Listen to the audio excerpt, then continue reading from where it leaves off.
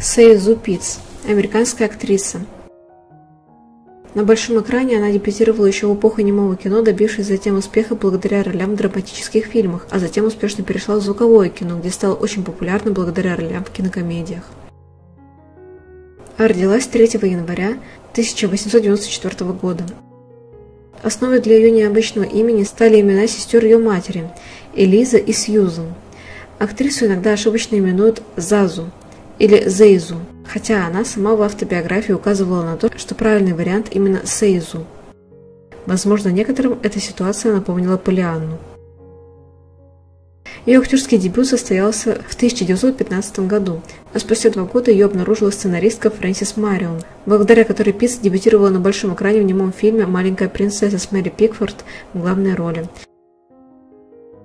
В 20-х годах Сейзу Питц была ведущей актрисой в фильмах Эриха фон Штрогейма, снявшись в его шедеврах «Алчность» 24 года и «Свадебный марш» 28 -го.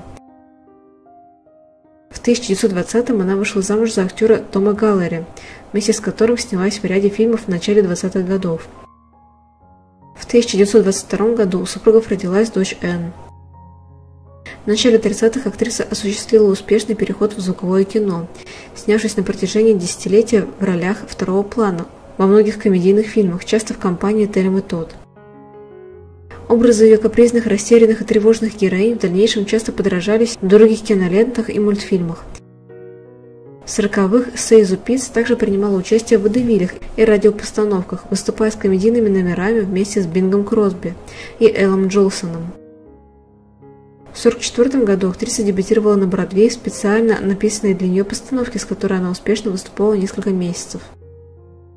С начала 50-х стала появляться на телевидении, где исполнила несколько ролей в популярных в те годы телесериалах. Помимо актерского искусства, актриса увлекалась кулинарией и коллекционированием рецептов конфет, что в итоге стало основой для книги «Конфетные хиты» от Сейзу Питц. В середине того же десятилетия у актрисы диагностировали рак, но тем не менее она продолжала работать до самого конца, появившись в эпизодических ролях в картинах «Доведенные до ручки» с Дорис Дэй в главной роли и культовой комедии начала 60-х «Этот безумный, безумный, безумный, безумный мир», в которой она снялась за несколько дней до своей смерти.